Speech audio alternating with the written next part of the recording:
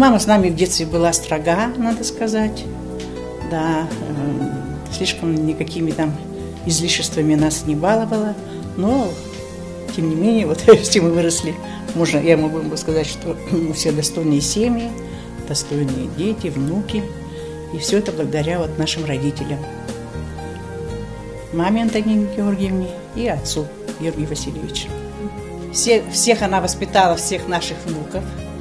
Всем, значит, она подает пример жизнелюбия, стойкости, помогает нам советами, обогревает нас своим теплом, заботой.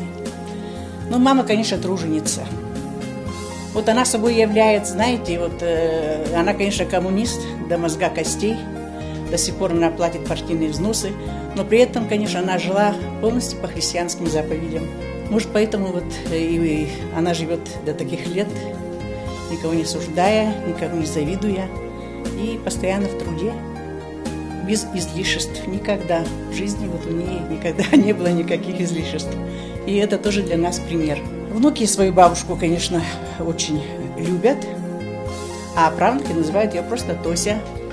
Она для них не Антонина Георгиевна, не бабушка, а Тося. Мы пошли к Тосе, мы пришли к Тосе когда вот мы были маленькие, то мама, мама наша постоянно занималась, э, ну, не просто только своей работой, но она общественной работой очень много занималась.